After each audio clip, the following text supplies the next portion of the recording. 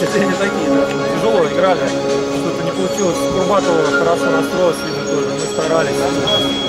Хорошая команда Курбатова, молодцы. Они добавили в конце э, сезона вот это. Хорошо играть, зря и серия такая настроилась. Ожидали вообще, что так тяжело матч сложится? Ну да. Мы настраивались очень серьезно на эту игру. Мы понимали, что Курбатов хочет доказать, что они тоже в Воронеже что-то весят. Видно, что команда старалась.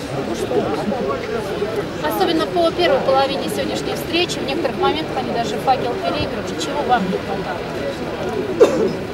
Ну, не могу вам сказать, что именно нам сейчас не хватало. Надо все равно смотреть, разбирать.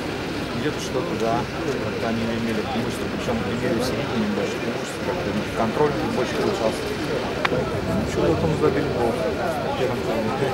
Погода как-то повлияла на сегодняшний Отличная погода футбольная. И в целом, как бы вы охарактеризовали, подвели итог первой половины чемпионата? Ну, мы набрали 52 очка. Я считаю, очень хороший показатель результат для факела. Будем теперь готовиться к весенней части. Также выигрывать, побеждать и радовать болельщиков. Спасибо им тоже, приходят, болеют. Мы чувствуем поддержку.